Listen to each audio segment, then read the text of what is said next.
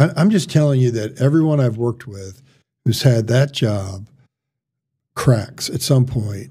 The, Yeah. the worst thing you can do is absolutely reassure me that it won't happen to you, you know. And two months later, three o'clock in the morning, in the emergency room at the county hospital, I hear him screaming down the hall.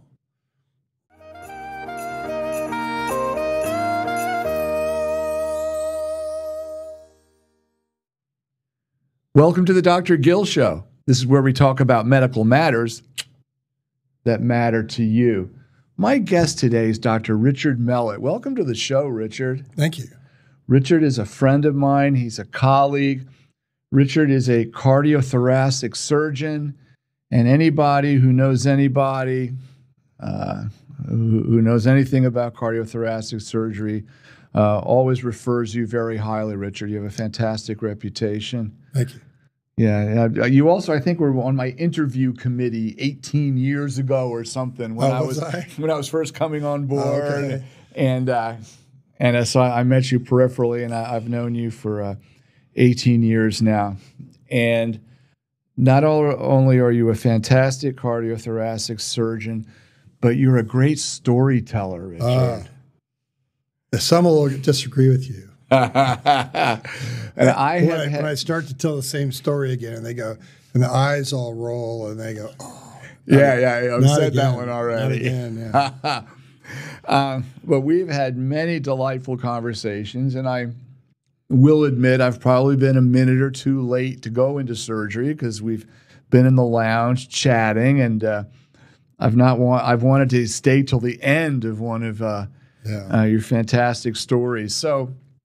We've talked about the particulars of cardiothoracic surgery and valve replacements and bypasses and bleeding cadavers with your uh, with your good partner Joss Fernandez. yes. And I'm going to leave all that technical stuff with that episode because today we're going to talk about fun stuff that's not technical. Okay. So let me just mention that uh, you went to Notre Dame undergraduate. I went to the University of Michigan, so we were big. T- well, they were always independent, but we were always big football rivals. Oh, yeah. Notre Dame and Michigan. Yeah. Then you went to medical school at uh, St. Louis University in St. Louis, and then you did your residency and your training for the most part in Emory University. That's in Atlanta, right? Correct. Right. So Atlanta is a big city with typical big city problems Uh-huh. that includes bullets and knives and occasional violence and uh, dangerous situations where uh, a cardiothoracic surgeon in training might get uh, brought into the action, well, you could say. well, that was uh, when you're looking. That was certainly a draw. Is A draw, correct. Yeah, that there's uh, uh, y- that there was a lot of uh, trauma. Uh, you know, in particular, penetrating trauma, which is most of many times requires surgery. Yeah, they high speed missiles is one of the Yeah. one of the uh, vernacular for bullets. Correct. And well, uh, the low speed are easier to take care of. the, the high speed are far messier. Uh, yeah, but the uh, or high velocity, but the uh, uh, knives were interesting too. So, uh, and, it's, Yeah. and, and actually, the interesting the patterns we saw when it was nice out, people got shot, and when it was raining, people got stabbed because they were in close proximity. So, amazing, amazing. And, and it, it might sound uh, kind of uh, sick or gratuitous, but in fact, when you're a medical student and you're looking at residencies, you look for residencies where you're going to see right, a lot of pathology or a lot of trauma and whatnot. And uh, it, it may sound counter sound counterintuitive, and if obviously we don't want anything ill to befall someone. No, But no. if we're going to get trained to do these things, you need the closer to a war zone, the better training you're going to have, particularly for uh, surgery and the related specialties. you know that's that's your thought process going into it. Uh, right. you're excited and you're young and you don't need very much sleep. Right. and uh, uh, but it it does wear on you uh, personally. You know, if you're not a sociopath or what yes Yeah. if you are a sensitive thinking feeling human being, it does does wear on Yeah, you. it, it, it it's it's hard. It, it's emotionally hard. Yeah. because it's amazing what people can do to each other with yeah. vehicles and weapons. Yeah. Now, I did my fellowship training in Newark, New Jersey Oh, okay. in the early 90s. And it was at the time the carjacking capital of the world. You're right. Shortly after, I think it was Mogadishu, you know, in Africa or something. I Yeah. mean, it, it, it was, I mean, it, it was very violent. Yes. And I remember every year, we used to have x rays on film, Richard. You probably remember there were Oh, I- acetate, big I, films. I remember that very, very much so. And once a year in the cafeteria lunchroom, big lunchroom for a big medical school, they would have these view- viewers. They were light light boxes, and you'd put the things, and they were roll. They could roll them, and you could have about a dozen of these big films. Yeah. And it would have like the films of the year once a year at lunch, and you'd have one. It was you know uh, shotgun pellets all Sure, over somebody, or an axe sticking out of someone's head, or a you know there's all the things that uh, that people unfortunately do to each other um, uh, in the in these places. It- it is very sad. So. What would motivate one, uh, Richard, or motivate you in particular, uh, to go into a surgical specialty? Uh, I was uh, just a very mechanical person uh, growing up. Uh, cars and other, you know, if, if if you could take it apart and put it back together, I had done it. So you had apti- Um, natural aptitude for that and good hands, probably. Right. And but you don't know about the good hands until you get there uh, to the Okay. you know. Uh, but the uh, but I was constantly uh, working on vehicles. If if I wanted to go somewhere, I had to fix the car so I could go there. So you were not born into money. No, uh, no, it, it was uh, a beat up old car that I had to keep running. And, uh, and in, as an example, in college, I didn't have a car because I couldn't afford it, but uh, I would fix other people's cars on the contingency that I would be able to borrow the car at a later date. So, so I, I actually got away with a fair amount uh, by keeping other people's cars while I was in college running. kind of a barter system. Yeah. Well, yeah, it was like uh, you know, I'll, I'll fix that. I know what it is, but you know, if but you, you, you're going to owe me a couple of lens. If I ever know. call you for a Yeah. favor, you're Well, the, the odd have part, to do the, it. the odd part is you'd make a date with some a, a, a, a young lady, and you couldn't tell her what you were going to pick her up in. You'd have to- any and, vehicle. you know, there weren't. It wasn't texting or cell phones. You couldn't. you, you couldn't warn her. You call her dorm room and tell her roommate, "I'm going to be in a, a black pickup truck." You know, and, uh, uh, just tell her. You know, but most of the part of the time, I knew I would have to get out and go in uh, to pick her up, and uh, right. because a lot of I just did not know what I was going to be driving. Uh, you know, and and, and and and and the worst case scenario was the bus. So uh, bus take the bus to go pick her up. Oh, yeah. oh my goodness. Yeah, You Well, be- you, you do what you have to do. You do what you have to do. Yeah.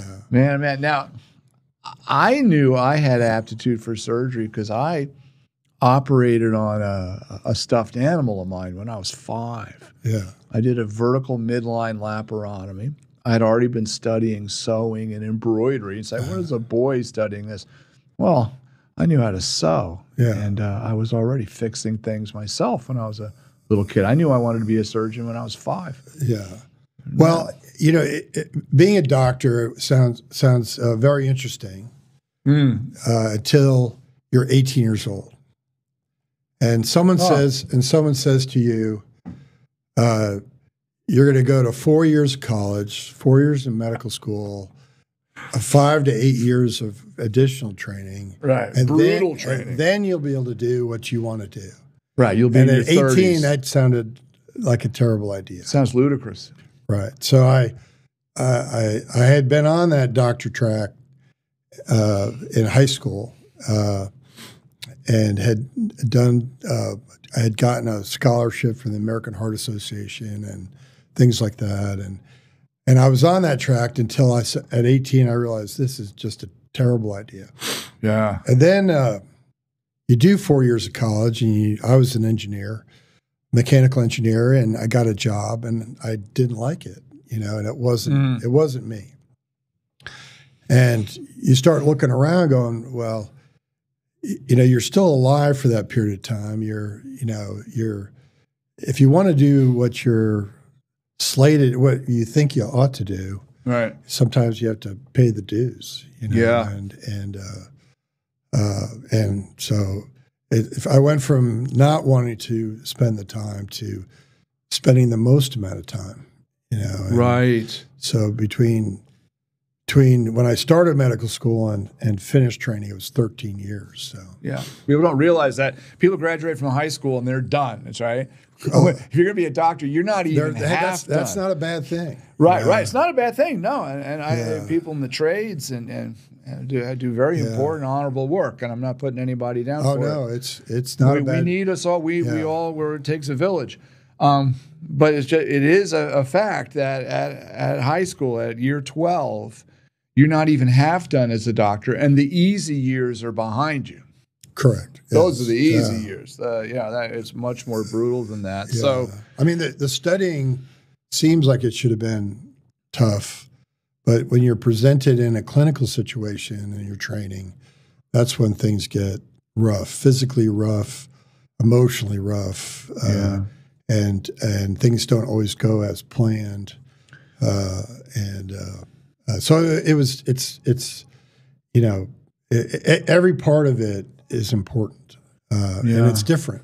Um, Yeah, and do you think the motivations uh, of trainees or, or you know future doctors are, are changing? Do you, and Well, it's, uh, it's certainly the- not for the money. The, I mean, the, the training has changed. People, well, I, I don't know. I don't know anybody who doesn't like saying that they're a doctor. Uh, yeah, the prestige is high. I mean, where, where, where do they rank? Doctor always comes above lawyer. yes, which and they always tend to get even. But uh, Yeah, yeah, yeah, yeah. Not putting that. Some of my best friends are lawyers. but the uh, uh, the motivation uh, for me was it suited me. You know, Yeah. and and uh, and it certainly financially. Uh, I mean, uh, thirteen years was a long time, you know, and and uh, uh, you're putting a lot of your life on hold for that period of time, And frequently going uh, deeply into debt. yeah, yeah, Yeah. but the yeah, you you have to be generally. I I got in trouble when I was a medical student. I was giving tours to pro, prospective students, and somebody asked me about being a medical student. And I said, if you don't like it, it this would suck. You know, Yeah, right. and they, and they reported that back to the dean's office, and I got called in to explain myself. And I for said, committing truth, I love it. for- Being for- honest. Yeah, don't you know? Don't do this just because you want to call yourself doctor. Do it because Yeah. it suits you. It's because it's what you want to do. Right. You want to do the work. Not the title is isn't worth what's involved. You know, and uh, uh, there's much easier ways to get by in this world. Uh, Sure are. you could have a podcast. You know? That's right. That's right. As I get older, I'm in my early 60s now, Richard, and Yeah. I, I don't know how long I can operate and at a top level. Do I have 5, 10, 15, 20 years in me? I don't know. Yeah. God knows. So uh, I have this. It's this- certainly time limited. You know. yeah, every day is precious. We only have so much time on this earth. And, uh, you know, it, occurred to me a year or two ago before this, I started this podcast, that I had access to talent Yeah. and stories and backstories uh, such as yours. And um, I've really been looking forward to uh, interviewing you about stories. So let's go. And now we've kind of talked about your motivation, what one's motivation might be to be a doctor, or particularly a surgeon, to the training you went through. I think you're a little older than I am, not much. uh, but the tr- Sixty-two. You, you're 62? yeah. We're exactly the same age. Wow. So the training that we went through it, it, may never be re, be repeated. They've they've Yeah. made laws that limit the, the amount of hours uh, you can work. Uh, attitudes have changed, uh, many for the better. I'm not saying it was better then, but it was different. Right. Well, we did, uh, for example, when I was on trauma in Atlanta, we we started off. We were, we did three months of every other night, Every other night. and you were on for 24 hours, and then off for 24 hours. Okay, now is this when you're still doing the general surgery? This is general surgery. All right, so you did five years of general surgery before several years of cardiothoracic. So you're on trauma, you're a resident, you're there 24 hours. Well, your shift ended at 24 hours, Right. and then it took you two or three hours to clean everything up, Right, and then you go and you would sleep, you know, for 10 hours right. because you hadn't slept much in the previous 24, and then you would come back and do it again. And do it again. Yeah, Not much time for that social life. no, no, Or laundry. I just remember my laundry. I I had time to do laundry maybe every two or three weeks. yeah, yeah, and A you little and, time. and and then uh, as an example, I uh, one of the jobs within the team was particularly difficult, and uh, uh, I told I would always tell the guy who had that job that uh, this is really difficult. Three months of this will uh, stress you to a point where you will break in in some fashion. In some In some fashion fashion. and uh, and I, I I would I was trying to give them let them off the hook when they stressed out when they And they reach their max, uh, they're, Right, and, and right. stress. They say, "Okay, you're Right, human. Join the club." and I, and I had one guy who was a few years uh, older than me who had gone to medical school late, and he said, I, "I've been through all kinds of things. I, I won't break." And Yeah. uh, and I said, uh, I, "I'm just telling you that everyone I've worked with who's had that job cracks at some point and Wow. gets gets gets a little uh, stressed out." And, Okay. and uh, uh, he, it won't happen to me.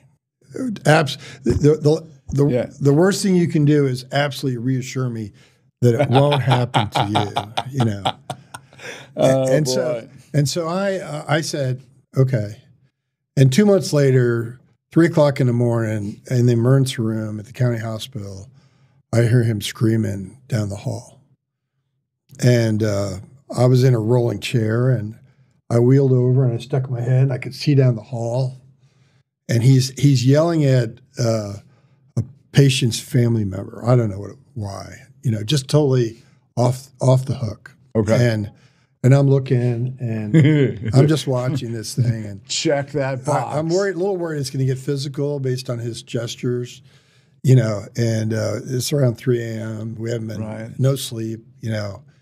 And he, uh, and all of a sudden he stops, and he's looking at this guy, and he turns and he sees my head, there he is. ding ding. and I and I wave to him, you know. I just Uh-huh. I give him a little wave, and he goes, and his head sinks. Oh. and I rolled the tape. I, I, I knew I, I knew I had him in check. Point made. I didn't have to do anything Yeah, at this point. Right. I just wheeled the chair back to the desk and I went back to doing what I was doing. You know, and I didn't hear any more yelling. You know, so but it was it was uh, it, it you know a job that takes you to the point where you break, where you lose your cool, uh, no matter how cool you are. You know, and uh, uh, and it was it, you know it, it teaches you a lot about yourself. Now, is it is Right. Is that really necessary to to get to that point to be pushed to that point? I I, I don't think that that's really necessary in training. It was definitely a part of it. Uh, Yeah. but it was uh, it, it taught you a lot about yourself going through something like that. So Yeah, and, and doing things when you are half dead from lack of sleep certainly develops almost a mental, I'm gonna call it a muscle memory. yeah, Um, and sometimes I rely on my training when when things are hairy. I I don't have the most stressful job as far as uh, sleep deprivation or anything, uh, but I can rely on, on my training. But the question is, did I make errors back then when when I was getting my muscle memory? You know, cutting my teeth. Did I make errors then? Am I robbing Peter to pay Paul now? I don't know. Right.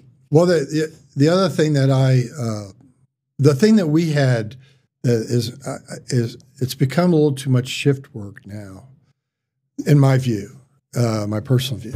Sure. Uh, when I uh, trained, uh, there was a continuity to it where you had somebody who was really sick that you were taking care of, and you were going through the whole thing. You didn't you didn't do twelve hours and then sign out.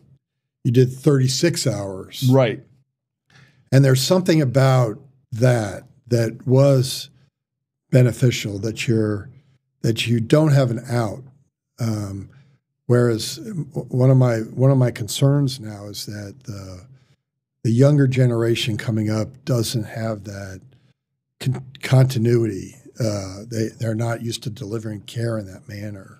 Uh-huh. You know, they do a certain number of hours and then they they sign out. Right. Um, now that maybe it's, it's a lot, certainly a lot more humane, but there's a there's a toughness to it that uh, and a and there was learning that happened uh, in the process of going through a so, taking care of somebody who's really sick.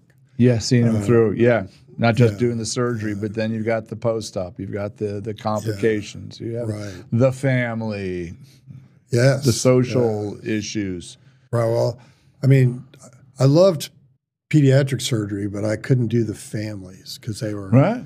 they were so emotional. They're a mess, uh, as I as and I, anyone not- would not- be. Yeah. totally totally reasonable. I, Understandable. I, am the same way about my kids. sure. Uh, you know, I, I had I was very interested in pediatric cardiac surgery at one point in my life, uh, for, and it was very intellectual because it's a very it's a the physiology is just so uh, unusual in comparison to normal.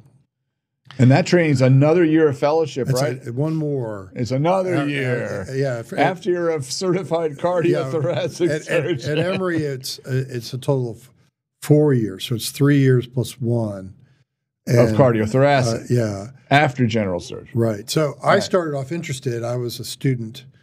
Uh, I was a general surgery resident. I was gravitating that way. I was following the you know, you know outside. I was I, I introduced myself to the pediatric surgeons, and I would watch stuff if I could. Um, and then I had children, you know, and and I went and you know you don't think about this when you're watching an interesting case, married but not with children, and then when when I actually came to do it and was helping with cases, it was a totally entirely different thing. When um, and and somehow every child that they put on the table in the operating room looked somehow like mine. Oh, know. and and I I couldn't yeah. I and I emotionally I was too stressful and Sure. I, I went to my my boss uh, somebody who trained me a tremendously brilliant guy who had trained in pediatrics and adult and was nationally recognized excuse me I went to him and I said, You used to do this. and he knew that I was interested and actually had put me in a situation that would benefit me more exposure. Sure. And I went to him and said, "What? When? Uh, what? Uh, why did you stop doing children?" And he said, "The third time my ulcer bled, uh, I knew it was time for me to stop." You know, and I went, "Oh, Mm. you know, you know, somebody you look up to, somebody that is brilliant and talented, and he and and he admits that it was too much. You know, and and uh, Wow. so uh, it's not just the ability or the intellect. you have to be able to handle the stress of it. Um, yeah. So Compartmentalize it without becoming, uh, yeah. you know, Well, there- we, we've all we've all met guys who are brilliant surgeons who Yeah. are uh, a bit uh, unemotional, Yeah. a little bit detached. You know, or and- frank assholes. you know, Yeah. it- you know, but it, but I understand that better now than I did when I was right. coming up. You know, Right. Yeah, so you did your general surgery, did a lot of trauma. Now, when did you start getting involved in more of the homicides and the uh, well, just the we did uh, we did a lot of trauma at uh, the county hospital. yeah And um, the uh, one, one, as an example, uh, one day I walked into the in, into the uh, emergency room. I was on trauma, and I look down the hall, and there's a ramp where the ambulances pull in and they unload. And there was a, I recognized a homicide detective. We've talked about this before, but there's a, at the time, eh, eh, there was a group of homicide detectives in Atlanta that would all wear hats, fedora hats, fedoras, and they were they called themselves the the Hat Squad. and I look down to the ramp, and I see I see a homicide detective that I recognize, and I, you get to know these guys after a while. Oh well, yeah. Well, they they want you to bring evidence to them, such as a bullet you remove, right. and they and there's a charge nurse standing by near the radio, and and the radio's not going off, you know. And I walk up to the charge nurse and I said, uh, uh, "Where's the where's the you know gunshot wound?" and she goes, "I don't know what you're talking about." And I said, "There's a."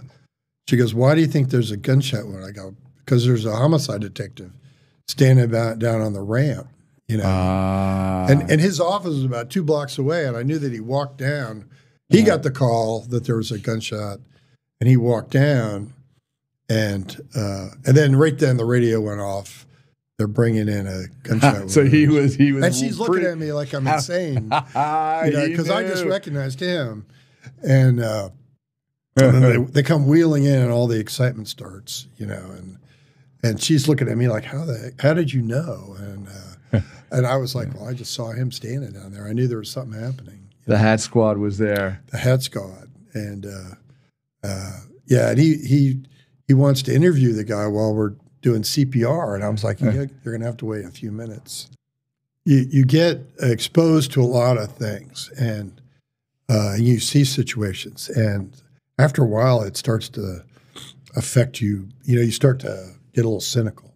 Cynical, jaded. Oh yeah put up the the protective blinders or whatnot. Right. So you got to know these detectives. So what kind of things would you see, Richard?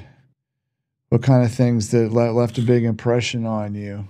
Well, I, I remember a young man came in, shot in the head, and he was essentially uh, uh, he was dying, and um, And the detective came and tried to ask me if he was going to be able to answer any questions. I said, no, he's going, he's dying. And, uh, uh, and it took, his wife was out of town. The detective's wife or the, no, no, the victim? The, the, victim's wife was out of town. So I'm uh, assessing his medical condition and I tried to actually not, I learned not to, want to know too much about what had happened. You know, huh. you, you, you, you, you, I, I don't want to know why he got shot in the head. Uh, I, I just, I just want to deal with uh, his injury, you know, and and not interesting, not particularly. You you lose interest sometimes in the in that story. You want to emotionally separate yourself from it, and and I would stop. I would I would stop asking certain questions. So you learn not to ask. Gee, if a prisoner right. if a prisoner came in, I didn't want to know why they were in prison. Um, if if a uh, if somebody got shot, I didn't know what, I didn't want to know what they were doing when they got shot. You know, right, right. I, I didn't right, want right. to. I didn't want to know if they were the on occasion the person who instigated the problem. The carjacker got shot. Right. And I would prefer just to address the injury and not so much the uh, how they got themselves into trouble. You know. Yeah, apparently in the emergency room you can have two rival gang members that just yeah. Injured each other, almost killed and right. now they're in bays. Now bay right one and bay yeah. two right next to each other, and but and they're going to try to still keep killing each other. Well, the the the the, oh, the, the people around me, the people uh, who ended up at, in the trauma rooms uh, where I was, they seem to have some sort of a truce uh, on hospital grounds. Okay, like we, a sanctuary, we, like in church, you don't, you don't. Yeah, uh, we that may it may ill. be totally different now, but at the time, we didn't worry so much about somebody coming after somebody who, if they hadn't finished what their well, intention was. uh, and and uh, every once in a while we got warned that there might be something like that. Uh huh.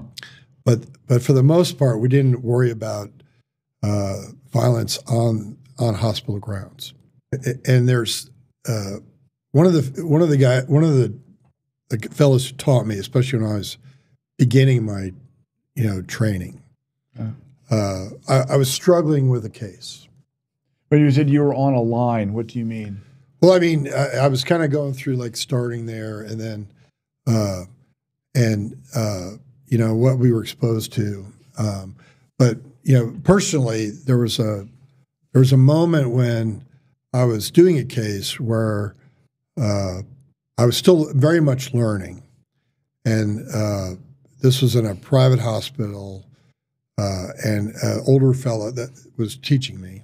Good older attending. Older, Cool. older private practice was was allowing me to do some of the surgery, and I was struggling, and I was struggling because uh, the nature of uh, the patient had some varices, which are very fragile veins that are under high pressure.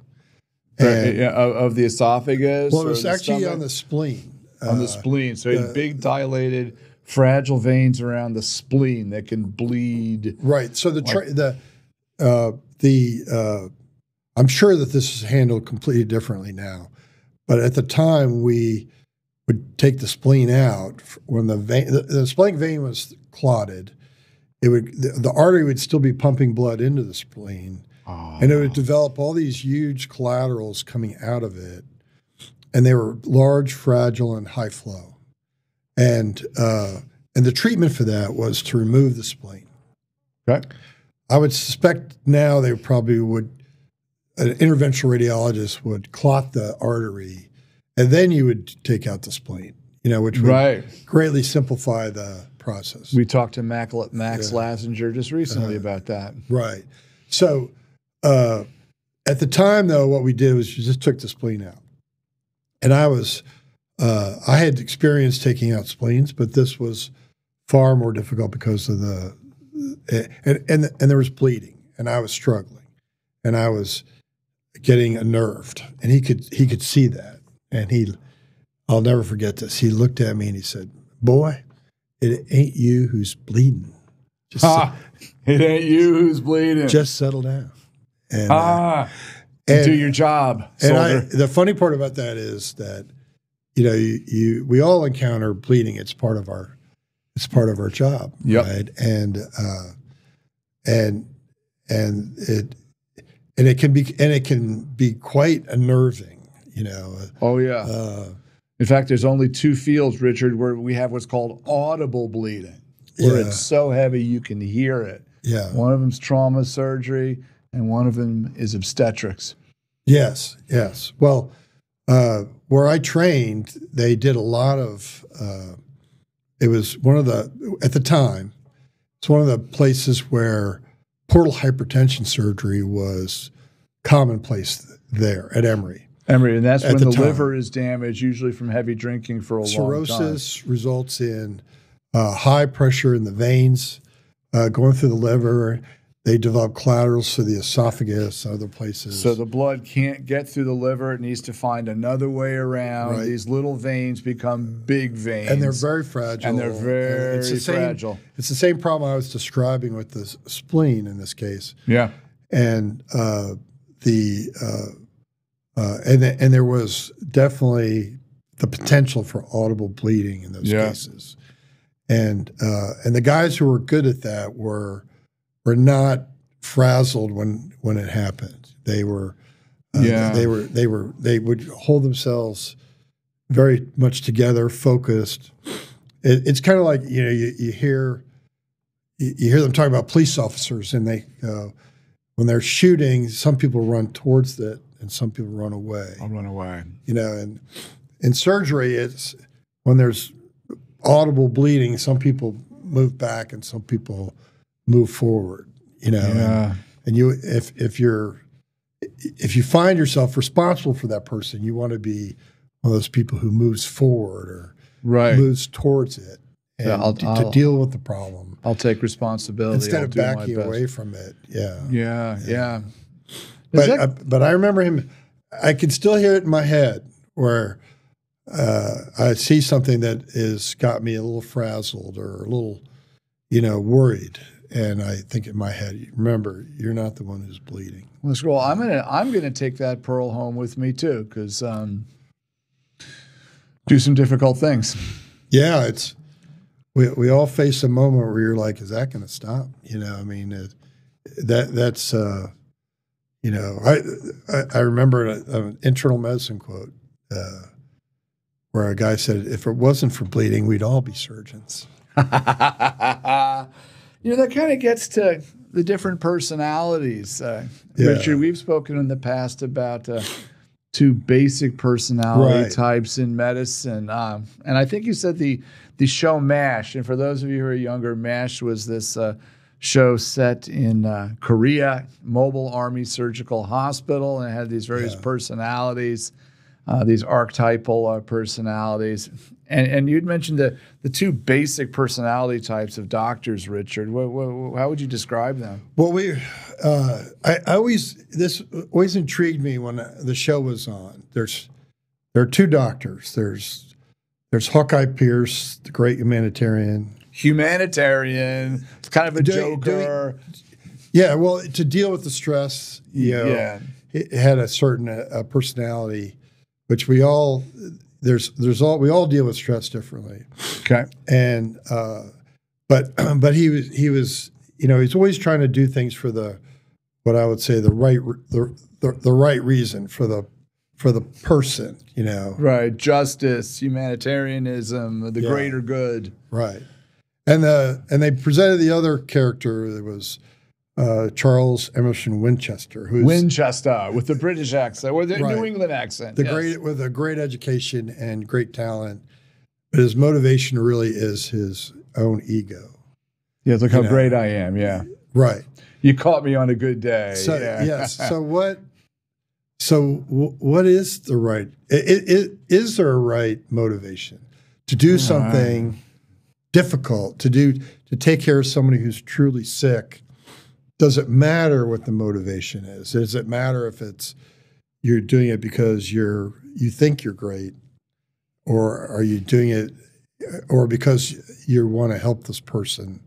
You badly want to hurt this help this person yeah. you know what what is the does the motivation does it matter And that's more of a rhetorical question. I, and I, don't know if there's an I- answer. Yeah. i i don't um, i have you know as a young person be, before cynicism really sets in you the go jading oh, the, the- process. the, the, the humanitarian well yeah but the humanitarian burns out you know yeah. the humanitarian can, yeah. gets gets beat up for other reasons and uh, and and you know and can't you know uh, it starts to withdraw from it and Sure. and, uh, you know uh, uh, you know everyone I know who does what I do has some you have to have some ego you have to think that you're really good at what you're doing or you can't Yeah. do it Yeah, there, there's a joke about surgeons, Richard. If you ask a surgeon who the two greatest surgeons in the world are, yeah they always have trouble telling you the second name.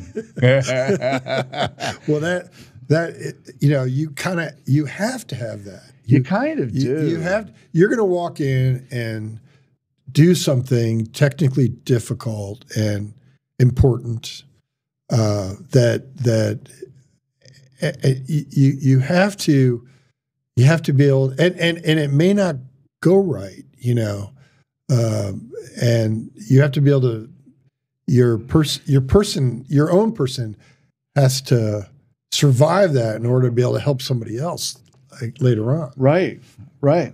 So- I mean, complications are rare in my world, but yeah boy, if you have one, it really changes your right your approach the next case.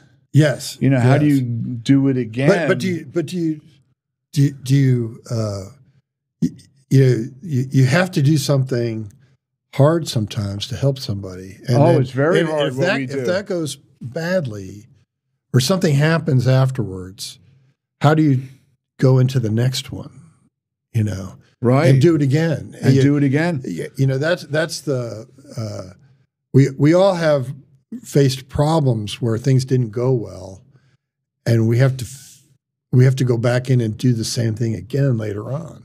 Yeah. You know, and uh, uh, and and and technically, you could have done it extremely well the first time on that on that first person, and had trouble, and uh, just because they're like for what I do, uh, you know, fix something on the heart, but the whole person has to survive that. They, Right. you know, the brain, the kidneys, the liver, the lungs, the ki- kidneys, everything else has to get through it too. You And know, just to and- put a fine point on this, Richard, when you do your a lot of your heart surgeries, they're on a heart lung machine. right. Their their heart is stopped. Yes. If you stopped or you screwed up, they are dead. So you've, you've Yeah, at got that moment, you- yeah. at that moment, yeah. So you've got this window, an hour two or three, whatever it is, to do what you have to do, and it has to work because that heart has to restart. and the and the, the machine is uh, and uh, it's amazing how well the vast majority of people tolerate them being on the heart lung machine. Uh huh. Um, but every once in a while, you know, it, it, it you know, it- people don't tolerate it very well. Yeah, know, and sometimes the heart doesn't and you, start. and you can't predict. Well, Doesn't I, I've not had that. I've, I've, I've you know, people ask you that. What do you do to restart it? I, I just let the blood go back to the heart, and I've, I've never had the heart not restart. oh, good for you. Good for it, you. And it, it, uh, and it, it, the heart actually tolerates that whole process very well. Better than the brain. It's, it's, it's everything else that I worry yeah. about Right. much more so than the, the heart itself. You know, the the the criteria, the the characteristics that we apply to the heart emotionally, uh, you know, don't really. It's not. That's really not what it is. It's it's a hunk of muscle, and it's pretty damn tough. Yeah. You know. Uh, Yeah, and what, what we call the, the heart might be more vagus and more gut. yes. Like gut feel. We talk about gut feelings, uh, and, and that that's my feeling too. I get gut feelings. I, kind of get heart feelings, but I mainly get gut feelings about things Yeah. when I'm looking for emotional center or feedback or, or um, you know, you know, wha- wha- what's the word I'm looking for? You know, Well, the, you self know, knowledge. as as an example, two thirds of the uh, nerve fibers in the vagus nerve are sensory. Huh? You think of the vagus nerves, folks, as that's what drives the digestion and your your, your, it's your guts. part, part of your autonomic nervous Yeah, it's kind of control. You think of it kind of controlling, but it's actually sensory. Most of it's coming Most back of it's up. sensory. I didn't two know that. two thirds of it is sensory. is, is feeding what's back what's to you. what's it doing? Ah, I don't know anybody can really tell me very well. Yeah. Well, there you go. That explains. You know, kind of interesting smell. If you look at olfactory, Uh-huh. half of it goes to your lower brain. You don't even know it. Yeah. It goes right to memory, and and and you don't have, you're not even Oh, realizing it's it's you're the smelling. strong. This uh, olfactory is the small, the strongest uh, initiator of memory. of memory. yeah. It goes straight in. Yeah. It's the oldest sense too. Yeah. We I mean, to I, swim. I remember I remember walk, walking through a mall somewhere when I was an adult, and then I had this, and I smelled some girl's perfume, and I Yeah. all of a sudden I was in high school again. You know, Yeah, just, just like, like that. that. It- you know, Oh, you're yeah. like, oh my goodness, you know, Yeah. yeah. Uh, but anyway, the the uh, you know so much of uh, the responses that we get from people that we're taking care of, you know, and uh, you know things like histamine and um, you know chemicals in our body that transmit information. I hear a lot of people talk about dopamine that Right. that they uh, they're doing cold plunges to get their dopamine levels up, and they're There's serotonin and their Serot- yeah, oxytocin. Yeah, and we're, we're, we're, there's all this discussion now about neurotransmitters that was that you didn't hear about 10, 15 years ago. You know, Yeah. because there's there all I mean all those things have been known about, but now it's become part of the popular lingo. You Yeah. know, which which it wasn't before, and uh, uh, and I'm kind of intrigued by you know the people looking for their dopamine. You know. Uh, yeah, yeah. uh, you know, in, uh, and other than personal relationships. You know. get so many different ways. Apparently, that's how uh, crack cocaine gets to the brain. It's a huge dopamine dump. right, I'm told. but it doesn't last as long as a cold plunge. that a cold plunge, you can do it again. Yeah, and you don't have these uh, social uh, uh, behavioral problems. Yeah, Yeah. yeah. So, is there anything else going on, Richard, that you can recall in, about your training or some experiences you had that uh, people might want to know about you or about your your experiences that Well- they might find interesting? So I, I spent. Um, well, this is, I don't know that people would find this interesting, but it, uh, I finished uh, nine years at Emory. Uh, Nine years at nine Emory. years at Emory. I, I had a pass to the parking lot that no one. By the time I was done, they rate you by the alphabet. So I was. Uh, I think I was a. You know, so you start off. You're an A.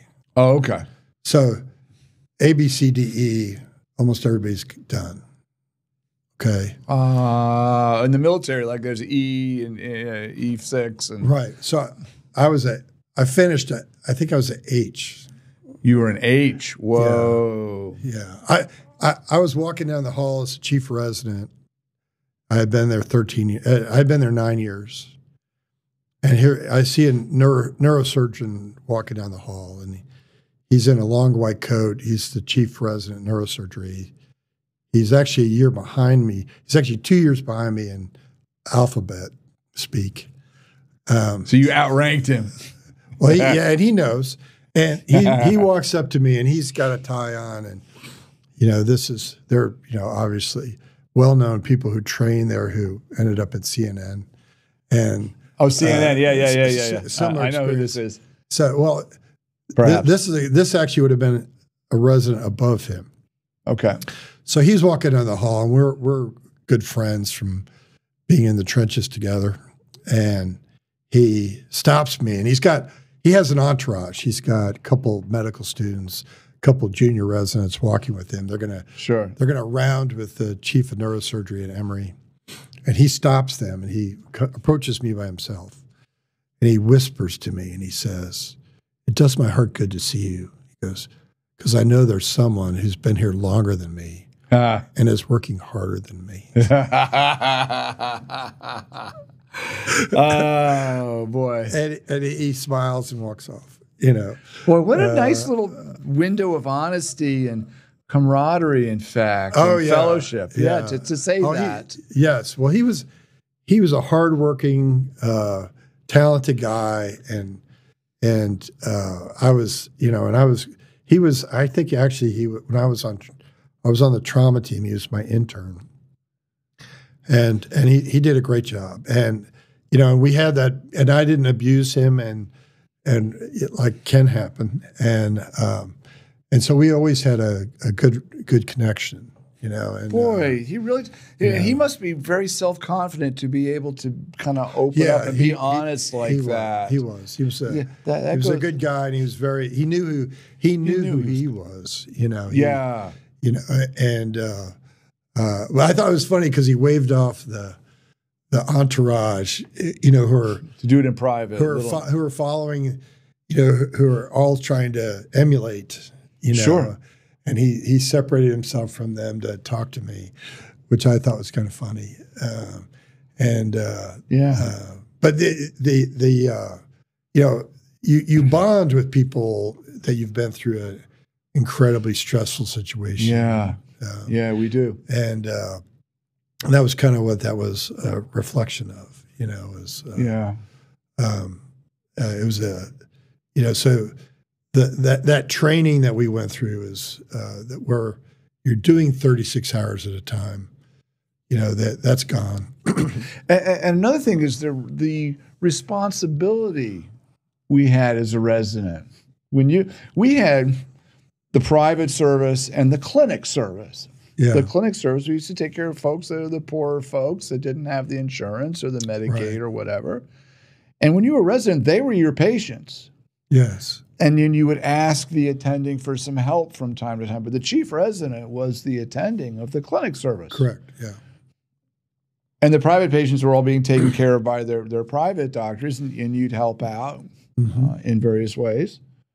But that's different now. It's like the attending has to be involved in in, in everything now. Yes. Well, And, and co-sign, and I was here for such and such percentage of the procedure, and blah blah blah. So this this this responsibility, this this uh, fly on your own on the clinic service, seems like it's it's it's a thing of the past. oh yes. Well, I, I, I during the time that I was training, so which was in the '90s, there was I saw the progression.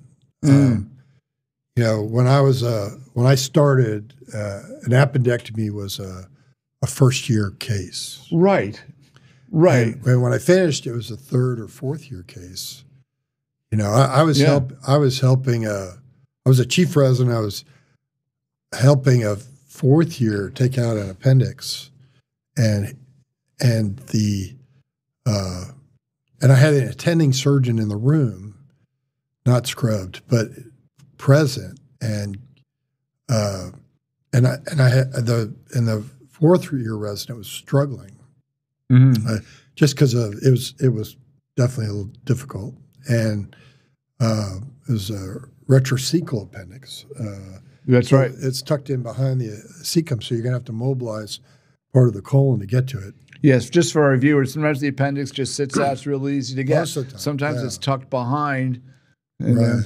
I, I, yeah. And and and, uh, and he was struggling a little bit, and I I had already seen what was wrong, and I was just trying to let him work through the problem, and the uh, but you know when I had started, that would have been a first or second year you know, Case. it- it- that who was actually had his hands on the instruments, and and by the time I was done, it was you know three or four. And, and, Yeah. uh, Yeah, yeah. We, you know, since we are our contemporaries, I remember for gallbladders, they used to do gallbladders through Open, big yeah. incisions, and the attending said, "I don't want to even be called until you're at the gallbladder. yeah. Don't even call me into the room until you're Right. there getting ready to do the actual gallbladder Yeah. part. You get in, you get you open, you close." yeah. uh, as and that was like a third or fourth year resident uh, level. So that that's changing. And well, let let's let's just talk about something that's kind of a, maybe a dirty little secret. Doctors are coming out of training now, sometimes not ready to fly on their own. Well, what, one of the things that I've uh, am intrigued by is the future. Is Right.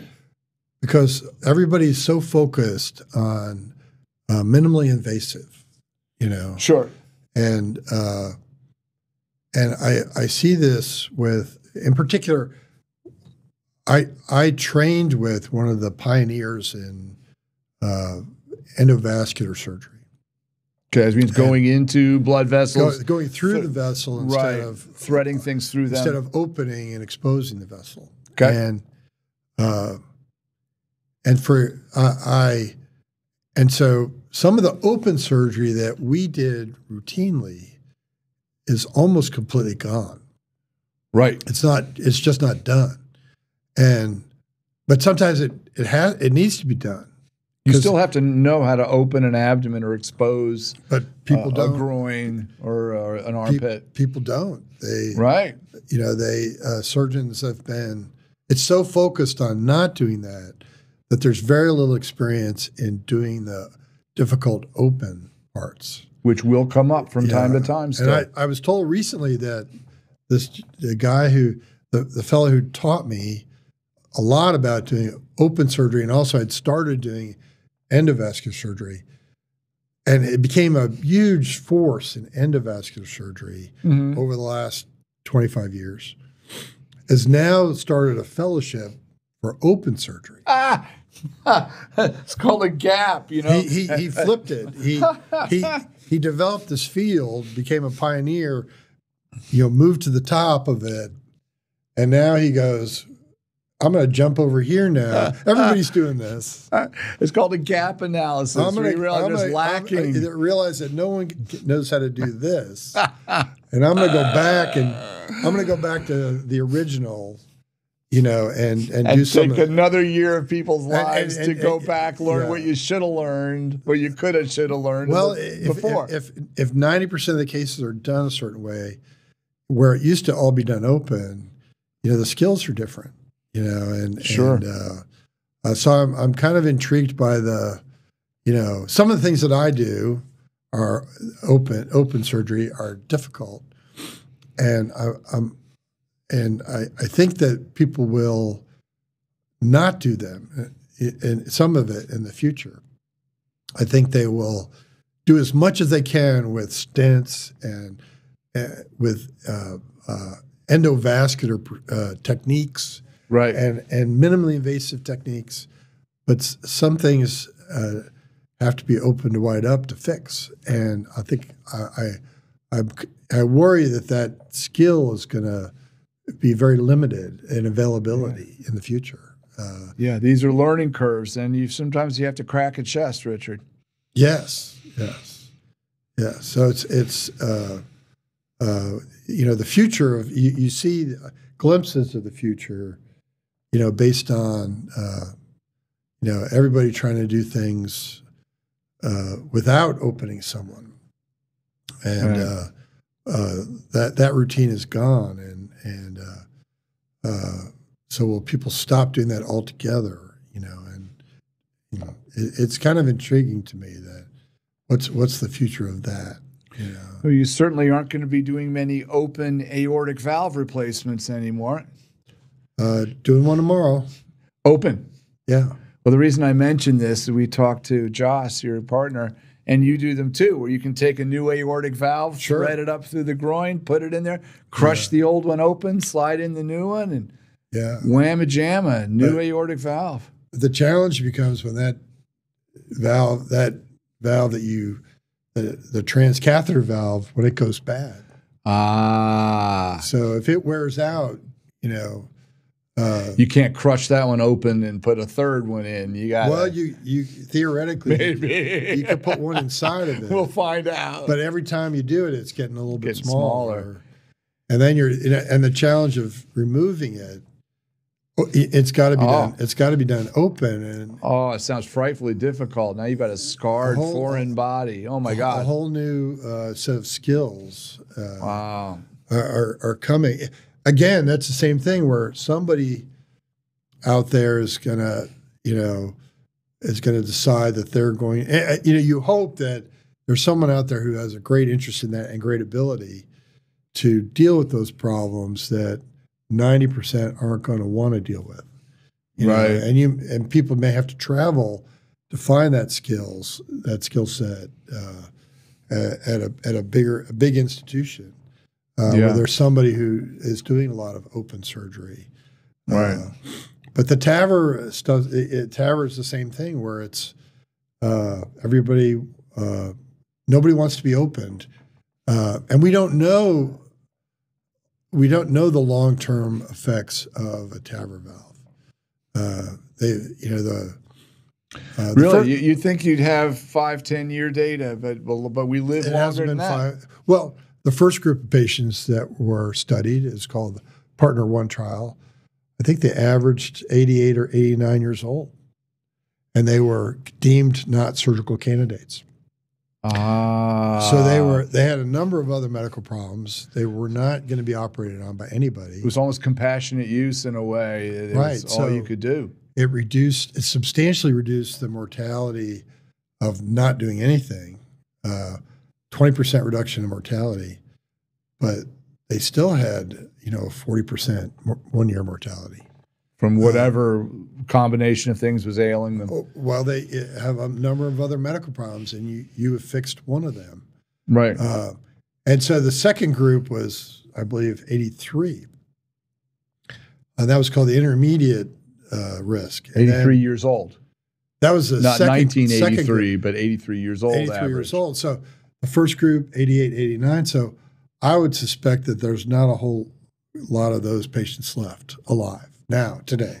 Interesting. So it's still So a 10 work in progress. There is no 10 year data because uh, for other reasons, they You're doing it in people that aren't going to live 10 years usually. Right, Right. right. A- And then 83 was the second group, and now and the third group is 77. So it's working down. And so the 77 year old group is now about five years out. Uh, so we don't have, we don't know what 10 year data looks like in a low risk patient, um, and because it doesn't, it hasn't been ten years. Um, Only time will tell. So that that that's data. It's what's called Right. phase four studies still you're, you're, ongoing. wait, you're waiting to find out. So what do I Right. tell someone who comes to me at at 58 and tells me I don't want to be opened? Right with the traditional I've heard I aortic don't, valve. I've heard I don't have to Dude. have open surgery. You can just stick this in a blood vessel, and I'm like, going, Right. I don't want to do it. You know, I, I know I can do it right through an open procedure that I've been doing for Thou- decades. thousands of patients, Right. Long, good long term results. Uh, what do I do when this guy wants something that I don't know how it's going to turn out? I don't. I know he's going to do great for a year. Right. And then become someone else's problem. Well, you know, Potentially. that's that's one way to look at it. is, Well, that's what some surgeons do. Uh, and that's Yeah. what Well, insurance companies or, do. or you know, yeah, yeah, is, uh, is uh, how are we going to time out on this? Right. You know, I mean, uh, you know, so I, so I have great reluctance to when I see someone who has a lot of life expectancy left. right. I'm I, I have to and, and and I find myself arguing with people now. but Not what- cracking, what just the- arguing. I mean, it's it, it's easier for me to it's easier for me uh, just to put the damn valve in. Right, you could be just done with yeah, this, Okay, yeah. you want that? Okay, I'll do that. Sure. You know, and I find myself going, you, you ought to get this. You ought to get the hard one. You know, you ought to do something hard. Yeah. So Yeah. you're not Oh, I don't fully do jaded. I don't want to do something hard. Oh, right. I want right. you to, you know, uh, Yeah, we I, I think we see that in all medicines, particularly in my world. You got to do something hard to to have a baby, and Yes, they, they want a yeah. magic pill sometimes, and yeah. I don't, Can I you don't just have give it. Me, can you just give me a shot Right, and I'll have a child? Yeah, And I can imagine. Uh, right, yeah, You know, and and I, you know, uh, and you know, and you you're telling somebody who's seventy, you got you got a you know, long way to go here. You know. yeah. Especially a healthy seventy year old. Yeah. yeah. You know, You've got twenty good years left in you potentially. with a good aorta. Yeah, and, Aortic and valve. you, you, you, do you really want me just to put this in? Although it might, you know, Yeah, it might. the best, ex- you know, uh, who was it? Uh, they they put a TAVR valve in Mick in Mick Jagger, Oh, Mick Jagger had a seventy five years old, got a TAVR. and he's still uh, touring. it's He- always he's, it's he's, al- he's- it's been five years. It's, he's eighty. right. It's always the, the last tour Uh, with the, with the Eagles. It was hell freezes They- over. Right? They, They're still- tried they tried to TAVR uh, Arnold Schwarzenegger. They did. It, that's a that's a very long story, but um, they tried to TAVR him, and I think they ended up doing open surgery. And they did open, and then they he ended went up lifting. doing difficult open surgery. difficult, and then he lifted weights like three days later and busted it open. no, that was that was the original. Uh, the first one he popped open. I, I don't think he lifted weights, but he he he did have problems years ago with a complex operation that was done. Uh, Interesting. but when that that wore out, what they had done at that time wore out, they tried to TAVR him. They tried to do something minimally invasive, but they had people on standby in case it didn't work. And, I say and the rumor is that he ended up with open surgery. So that's the rumor. I don't know yeah, we, I know we can neither confirm nor deny. I know yeah. nothing else about that other than Yeah. I, I believe he got open surgery. So, Wow. um, So, but, to, but it's but it's it's very you know it's very the advertisements are all pushing you know uh, there's there's no motivation to to advertise old technology even Right. if it's better right, you know um, you know for right. you know what, what was you know uh, years ago they came up with an intravenous ibuprofen yeah, but it's yeah. gen- It's just gen- Advil. but there's no reason to do research on it because there's no financial gain. Yeah, and they had for a while intravenous Tylenol. So They instead of taking instead of taking a you know a twelve cent Tylenol, it was like I don't know how much it was hundred thousand dollars for a what it was. It was very expensive for intravenous It was Tylenol. it was uh, administering a, a shot at our hospital was twenty dollars for one shot of ty- IV Tylenol. of IV was only twenty dollars. Okay, it was twenty dollars. but it was pennies. The drug the drug was probably only seven or eight, but to actually get it to the Right. floor, and administer it. Right. So they took it off the formula because they didn't want to spend the money. Right. But I will this? tell you, it was great. ah. So you have that patient who doesn't tolerate uh, other pain medicines, narcotics, or other things because of nausea, Ah. or seeing things, or other things. Oh, I loved IV Tylenol. I really. that was a great medicine. Uh, and and if you if you had reserved it for the people who didn't tolerate other medicines, you know, It would have been a balance it would have been cost. It would have been right. it would have been right. good, but we it was taken off our formulary because of cost. You know, they're like a excuse me. They're like, how good can an IV? How much better can IV Tylenol be over just oral Tylenol? Well, I will sometimes tell it you, is. I will tell you that it was very effective. I was very pleased to use it, uh, and I was very disappointed when it came off the formulary. It was Yeah. that is a very good medicine. Interesting. And, and uh, uh, you know, but it did. It cost you know twenty times as much as uh, as a pill. Uh, Yeah. And uh, uh, anyway, Yeah. So to start connecting the dots and maybe uh, wrapping this up logically, let's say uh, motivations for going into medicine and surgery will probably always be there. We'll always have these archetypes of personality. yes, I believe that. And you know, I, I I bought my practice from a guy named Dr. Larry Penny. He passed away recently. We were very different in so many ways, politics being the most famous way. But I'll be damned, we weren't 99% the same when it came to excellence and professionalism and wanting to help people and how to do it. yes, I mean, that, that was the common thread yeah. uh, to which I'm very proud that that, that well, we he, shared, he had quite the work ethic. and the work ethic. Oh my God! Yep, I found you'd find him in the doctor's lounge anytime. day or night, getting ready to do something. I mean, the Yeah. reason you do fertility in part is so you don't have to be up all night delivering babies, and he still chose to do that too. You do C sections on quadruplets, and yeah, he, he was, yeah, I incredible just I just remember so- walking in, and you, you know, it, it, and to see a, you know, to see a gynecologist in the waiting for an operating room at three in the morning. It was kind of like I Yeah. always wondered what could that be. You know, Yeah, but I- that was the obstetrical part of his of his Yeah. training that he never let go of. yeah, uh, yeah, But but as as as you've modified what he did, yeah, you know, uh, the same thing is true of the generations following us. Is that they modify to what you know the way they're going to practice, you know, and and they're not going to, uh, uh, you know, they're not going to. They they haven't been trained to do the hours and the continuousness. They're going to they're going to protect themselves more. There's yeah. all this discussion of work life balance, and they're, Right. go- they're going to be more conscious of that than than and it's going to be different. It's just going to be different. know? And it's going to be an ongoing debate whether that diminishes their their skills and whether they do need another few years of hand holding after training, after all those years of training. Uh, do they still need some hand holding to, that's the best word for it, perhaps, uh, until they're really, really ready to fly on their own? right, right. and they have those skills that maybe they would they didn't learn and and you know how much time is there in life to to spend in training i mean you get out when you're 50 or 60 years old ready to go i mean uh, I mean, they're they're constantly trying to find ways. There's a lot of emphasis, like in cardiac, because it's so long, to shorten it.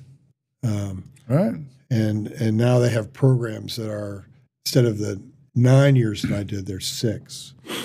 Um, and i'm sure there are incredibly talented people with good hands and good judgment that might do okay with six right. but there's some that won't and, Yeah. and that that debates the same in uh, reproductive endocrinology do you need uh, four years of OBGYN and then three years of fellowship I, I only did two years of fellowship it was two years when I trained and that was just fine Yeah. Um, and now there's a shortage of reproductive endocrinologists. By the way, is there a shortage of, of cardiothoracic surgeons? Terrible. Terrible shortage. Terrible. So we have to balance this work work life balance versus the the need for all surgeons. it, it it's it's purely uh, you know do you want to work that hard and uh, it's all about pay Pay, yeah, and it's Yeah. particularly if a physician uh, extender. Yeah. There are wonderful nurse practitioners. Uh, I, I train uh, physician assistants, and they do a great job when it's a, a routine case, right and they get compensated, I believe, fairly well. yes Uh, but but you, when you're not the routine case, then then you need a perhaps a wise old uh, surgeon to, to figure it out, or to, to, to trusty old. So there you go, uh, to do the difficult uh, cases. yeah Yeah, so it's going to be a constant trade off. So I don't see that debate getting any easier, Richard. no no it's it's uh uh yeah it, definitely you know when I I have not looked at this in several years but um about 10 15 years ago the there were 120 spots in the country to train to be a heart surgeon 120. uh, and at the, at the time that I looked at this, there were they were they were training. They were averaging sixty seven a year, Graduating. Yes. 67. right? So, and when I applied for my spot, well, there were two applicants for every spot. Okay. So there were, and the spots all filled. So there's two hundred forty people applying, one hundred twenty people picked. Okay. And that has gone to, that went to less than half the spots, or just barely half the spots filling. Oh, so there's now more spots than applicants. Right. So 120 spots, Oh. 67 people finishing. Uh, I don't know what it is in the last five years, but uh, I, it's very difficult. We've been trying to find someone to come here. Uh, A third partner for you. right. So, Right. So my approach, looking for a job, I, this uh, my approach was: Do you have cases for me to do? Is there enough work? Uh, and the and and this is not just cardiac surgery. Now the first question is: How much call do I have to do? Right. You know, uh, Right. and and, h- you know how many weekends? Right. how many weekends a month, you know, uh, do am I going to do? You know, and, Right. And everybody wants to be the fourth or fifth guy. Nobody wants to be the second or third guy. Right. You know, right. because that because that's more call, more obligation. Sure, and, and in my field too, they only make 40 reproductive endocrinologists every year. I'm sure that many retire. And this happens to be on a Sunday, Richard. We're doing this uh, interview, Yeah. and I've been up all morning doing egg retrievals, embryo transfers, and whatnot. Uh, it's just Right. another day for me. Well, I, I saw 14 people in the hospital this morning, Wow. Sunday, on a Sunday. and did a two-hour operation. You know, and Right. and, uh, uh, you know, so and I did an op- I operated yesterday on Saturday. right. uh, you know, and and this coming week is full. So, you know, we've, we've got there's plenty of work, uh, and uh, um, but again, it's it's uh, you know, I, I was attracted to a, a smaller community in between two large communities. You know, Right. We live in a in a university town, about 120,000 here, about a half a million catchment area. Yeah. Whereas most uh, most people are looking for a larger program because Sure. more support, more less call, And more Uh, palm trees. and sometimes warmer. Yes, the, Florida's a big draw. There's a lot of heart surgeons in Florida. So Yeah. um, you know, all my friends trained in Atlanta all went to all ended up in Florida. Uh-huh. You know, and uh, Right. uh, close to their sailboats and Sure. yeah. So I think we can predict that in all fields, um, uh, we're going to have a doctor shortage, Yes. and how how the country deals with it is going to depend on a lot of things. It's going to depend on the work ethic of people applying. It's going to depend on the motivation of people to. Are they going to are are smart, hard working people going to gravitate to these very difficult jobs that I don't see Right. getting any easier?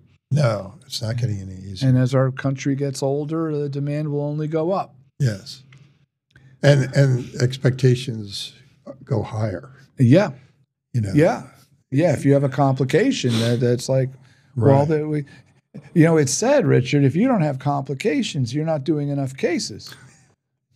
I mean, that's the standard Yeah. answer. Yeah, if you don't, uh, yeah, the way I was taught to me was, if if you if you don't want complications, don't do surgery. Don't do surgery, right? you know, Right. Even do your just best. Stay at home. Right. Exactly. Advise other people. Write a paper. yeah, become a consultant. Yeah. Or as I see ads on TV, you go to law school and then become a a, a, a lawyer that uh, sues doctors for a living. Yes. Uh, a, a friend of mine was involved in a lawsuit, and he was fairly frustrated by the whole process. And uh, uh, part of the reason he was so frustrated is he's very bright, and he he wouldn't he he wouldn't just listen to his attorneys Okay. and do what they said, and he was trying to enforce his own will on the process, which was not working Not smart.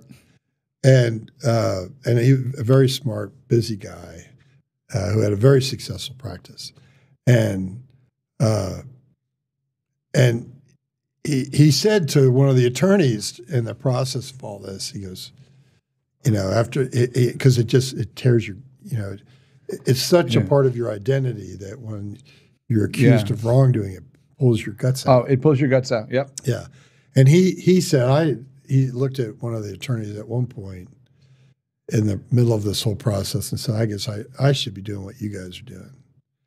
And the guy goes, Don't. Don't. he goes, Don't. He goes, You help people. You you do some serious good. He goes. He goes. This whole thing is just a game.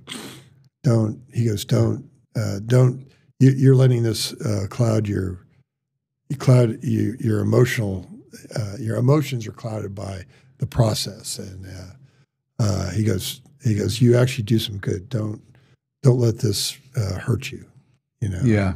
Yeah. and uh, I think he uh, he settled down after that that this guy had kind of reassured him that he was probably doing what he was supposed to be doing you know, Yeah. I, see I feel fortunate because I feel like I'm doing what I'm supposed to be doing you know and- Yeah, I do and, too. I feel uh, it's a calling. uh, yeah.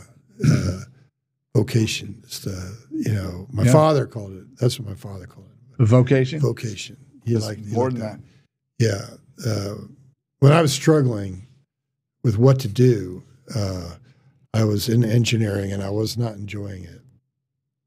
And uh, my, I had dinner with my father, and he said, "What about going to medical school?" And I had, I'd kind of totally written that off as, and he he just kind of replanted the seed, you know, and, Uh-huh. and uh, uh, I was working at an engineering company, and I had helped design a computer box for that went on a, F fourteen uh, Tomcat, Okay. and uh, uh, my boss, a very enthusiastic engineer, comes to me and he goes, "The redesign is finished. They've built one." Okay, he goes, "They're shipping it out uh, today on the loading dock." He goes, "Let's go watch it go out." Ah. He was so excited. Sure. Almost goes- christening the ship. They get the champagne. Goes, "Yeah, and it, you know, it, the box is only, you know, it's, the- it goes into the seat." yeah, they got to be small. Right. Yeah. Yeah, and he goes, uh, "You," uh, he goes, "Let's go watch it ship it out." I was like, "No." He's like, "What?" I go, I, "I don't care that they're putting it on the uh, on a. They're sticking. They're going to stick a this box in the back of a van. It's going to drive away. You know, it's it's not like the Oh, shuttle but he, but your oh, boss he was so he was it. so excited. He saw the it. meaning. Well, it, it it pointed out to me that I was in the wrong thing. Yeah. you know, because I could see his eyes lit up about this box going out the back door, you know, Oh. and that the design had been finished and was successful. and it's it's they're going to go put it on a plane somewhere, Yeah. and and you're going to find out if it actually works. What you did works, and I was like, hmm. you know, I had no, I could just tell I just had no enthusiasm for it. I, I did for the doing the design, and I actually drove out to a naval base and climbed into a plane so I could see where the so I see where the box sat. Did it work? You know, Was the it good? Was it well worked. designed? It, it was. It worked. It cooled much better. Kept overheating, but it was sitting on the tarmac, and uh, uh, and and I but I was like, hmm. I, I mean. I enjoyed what I did, but I was like, I had no enthusiasm for it. Not like that. I was Right. watching him light up. Hey, the box is going out today. You know, and I was like, you know, I, now, now you get to see Mr. and Mrs. Smith going out the door yeah. with a repaired heart. you know, every once in a while, you know, you, you feel like, am I am I really doing any good? I mean, we all, you know, you you you get presented with people bringing their children. Yeah, they're little babies. and- Yep, yeah, yep, baby pictures. yeah, and and and and so, uh, I I was standing in the lobby yesterday, and a gentleman stopped me, and he goes, uh, "You did my heart surgery two years ago. I'm doing great." Shook my hand Nice.